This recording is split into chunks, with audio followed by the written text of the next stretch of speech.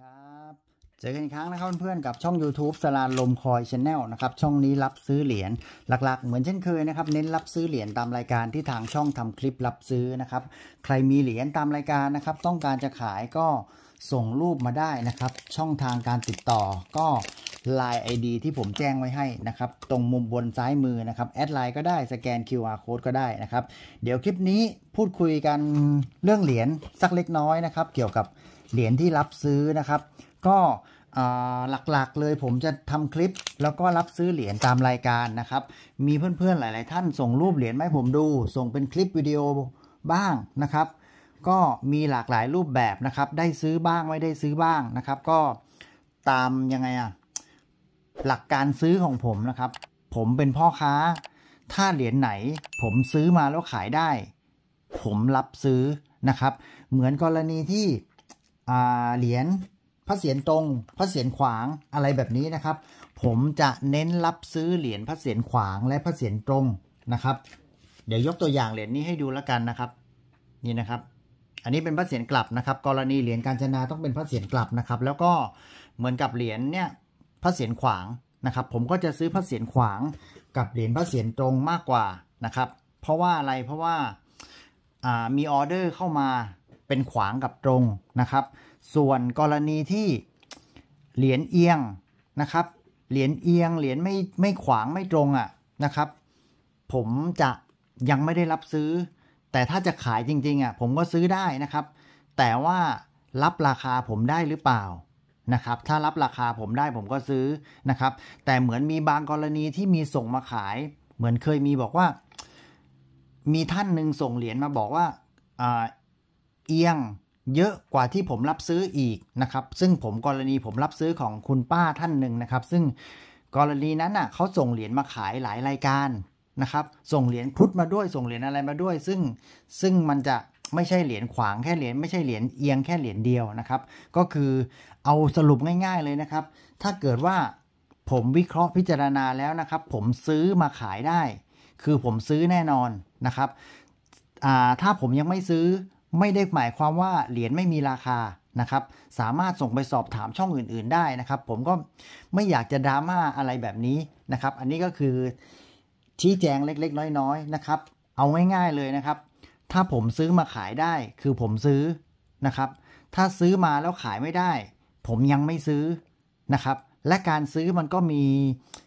การพิจารณาหลาย ๆ อย่างนะครับ ส่งมาแค่เหรียญเดียว ส่งเหรียญอื่นมาด้วยจำนวนมากนะครับ หลาย ๆ อย่างมันมีการวิเคราะห์นะครับ เพราะว่ามองคนละมุมกันนะครับ ท่านมองในมุมที่ท่านอยากจะขายนะครับ ก็คือผมก็เข้าใจนะครับ อยากจะขายให้ได้ราคา แต่ว่าผมซื้อมาแล้วผมจะขายได้หรือเปล่าแค่นั้นนะครับ อันนี้ก็คือฝากไว้นิดนึงนะครับ เดี๋ยวมาดูเหรียญนนะครับ พูดพูดถึงเรื่องเหรียญอะไรดีอะเหรียญอันนี้แล้วกันนะครับ ก็ขึ้นมาแบบ ขึ้นมาแล้วก็อธิบายให้เข้าใจนะครับ ไม่ได้บ่นนะครับ พยายามอธิบายให้เข้าใจนะครับสองเหรียญนนี้แตกต่างกันนะครับนี่นะครับเหรียญ50 สตางค์ปี 2493นะครับมี 2 บล็อก ผมจะเน้นรับซื้อบล็อกตัวหนามากกว่านะครับ นี่นะครับ ตัวนี้ก็ซื้อนะครับ แต่ผมซื้อ 20-30 บาทนะครับ เหรียญนี้ผมก็ซื้อนะครับ 50 สตางค์ตัวบาง 2493 นะครับ มีสอบถามกันมาเยอะ บางท่านมีเหรียญเดียว บางท่านมี 2 เหรียญ บางท่านมี 4 เหรียญอะไรแบบเนี้ย ถ้าท่านรับราคาได้ผมก็ซื้อนะครับ เนี่ย20ถึง30บาท ถ้าท่านจะส่งมาขายผมก็ซื้อนะครับ อันนี้คือผมแจ้งราคาชัดเจนนะครับ ซึ่งที่ผมแจ้งราคาชัดเจนนะครับ ผมอยากสื่อให้เข้าใจว่าผมจะเน้นรับซื้อแบบนี้มากกว่านะครับ ถ้ามีแบบเนี้ย ส่งแบบนี้มาขาย จะติดเหรียญนี้มาสัก2อสเหรียญก็ได้นะครับ มันจะคุ้มค่ากว่านะครับ อันเนี้ยเหรียญละ 20-30ถึงบาท ถ้าจะส่งมาขายก็โอเคนะครับ ถ้ารับราคาได้ก็คือส่งมาขายนะครับ ซึ่งผมก็อาจจะไปขายต่อได้กำไรบ้างนะครับ แต่ว่าถ้าเป็นเหรียญนี้นะครับ ซื้อสูงสุด 1,000 บาทสำหรับเหรียญห้าสิบสตางค์ตัวหนานะครับ เดี๋ยวมาดูกันดีกว่าหนากับบางดูตรงไหนนะครับ นี่นะครับ อันนี้บางนะครับ ตัวหนังสือ ซูมเยอะเกินไปนะครับ อ่า นี่นะครับ เหรียญแพงก็คือตัวหนานะครับ นี่นะครับ ตัวหนังสือจะหนากว่า ดูระยะห่างของเหรียญของของของเลข 50 ก็ได้นะครับ อันเนี้ย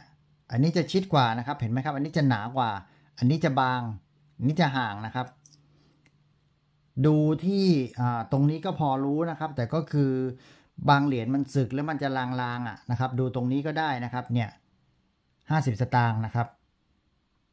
นี่นะครับตัวหนานะครับตัวนี้จะแพงนะครับ ผมจะเน้นรับซื้อตัวนี้นะครับ อันนี้ก็คือเป็นตัวอย่างเล็กๆ น้อยๆนะครับ ที่มาแนะนำให้เพื่อนๆได้ดูนะครับ ส่วนเหรียญอีกแบบหนึ่งนะครับที่ที่มีกระแสแล้วก็อยากได้ในตอนนี้นะครับ อันนี้ก็คือเป็นเหรียญปกตินะครับ เป็นเหรียญ สิบบาทของในหลวงรัชกาลที่ 10นะครับเดี๋ยวให้ดูแบบที่รับซื้อแล้วกันนะครับ ผมไม่มีเหรียญตัวอย่างนะครับ ผมมีตัวอย่างแค่เป็นเหรียญเป็นเหรียญอของของรุ่นอื่นนะครับ แต่ว่าถ้าใครมี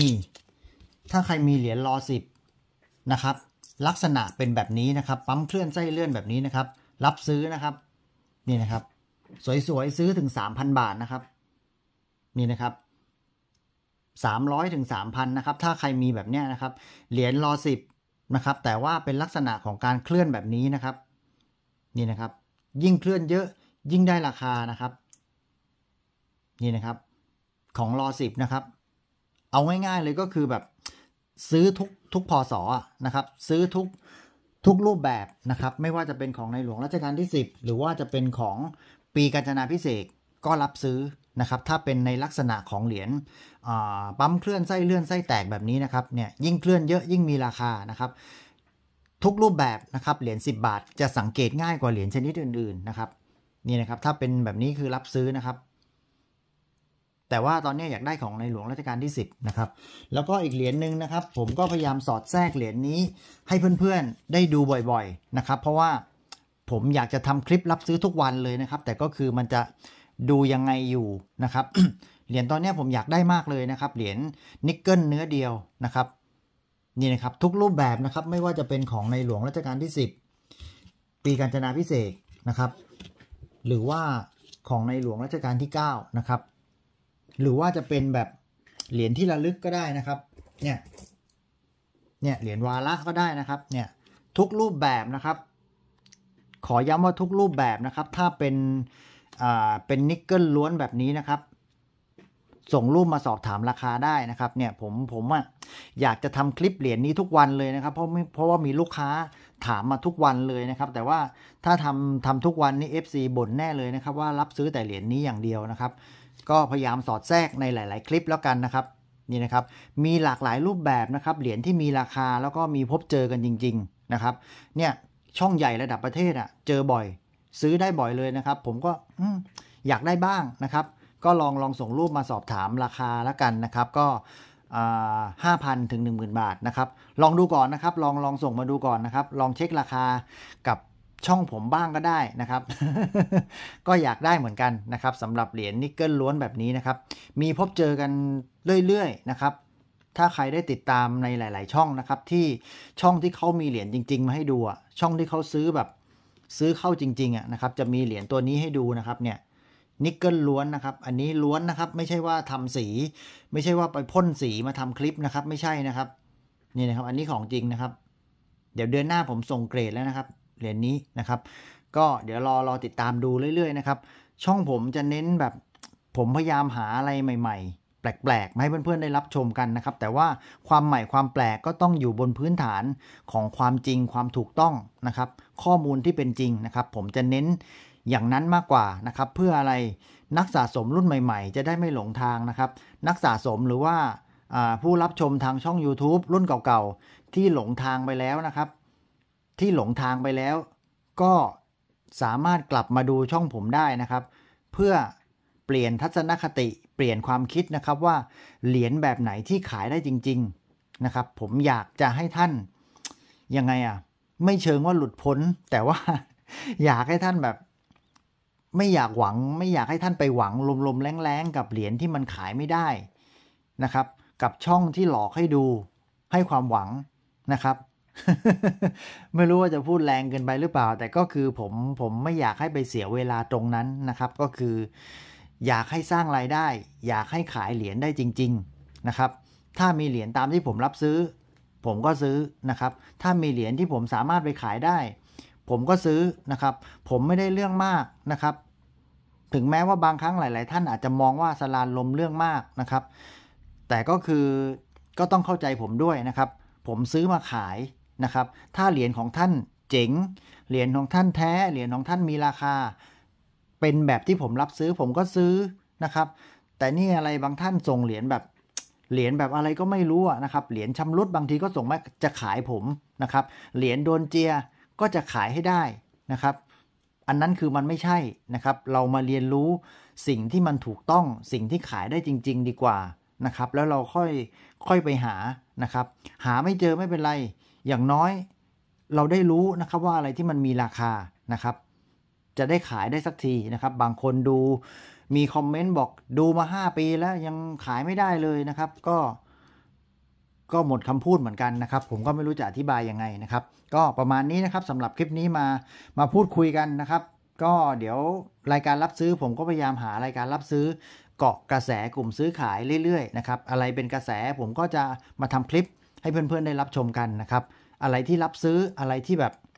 กระแสดีๆ ผมก็จะมาทำคลิปเรื่อยๆนะครับ มีรีวิวให้ดูบ่อยๆนะครับ หลายๆท่านยังคิดว่า มันเอายอดวิวอย่างเดียวมันไม่ซื้อนะครับ ไม่ใช่นะครับ ผมซื้อทุกวัน ยอดอาจจะไม่ใช่หลักหมื่นหลักแสน ยอดอาจจะหลักสิบหลักร้อยหลักพัน หลักหมื่นนะครับ แต่ก็ซื้อจริงนะครับ ถ้าท่านมองหาเหรียญหลักแสน ก็อาจจะเจอนะครับอาจจะเจอนะครับ แต่ว่าไม่รู้เมื่อไหร่นะครับ เพราะเหรียญบางเหรียญมันราคาสูง มันมีน้อยนะครับ ก็ลองลองมองหาเหรียญที่มีโอกาสเจอแล้วก็ขายได้จริง ๆ บ้างก็ได้นะครับ ราคาอาจจะแค่หลักสิบหลักร้อยที่ช่องผมรับซื้อ แต่ก็ซื้อทุกวันขายได้จริง ๆกำไรจากตรงนั้นท่านก็ได้จริง ๆนะครับ ก็ประมาณนี้นะครับสำหรับคลิปนี้ ขอขอบคุณทุกท่านที่รับชมนะครับ เจอกันคลิปต่อไปกับสลานลมคอยชแนลคลิปนี้ขอลาไปก่อน สวัสดีครับ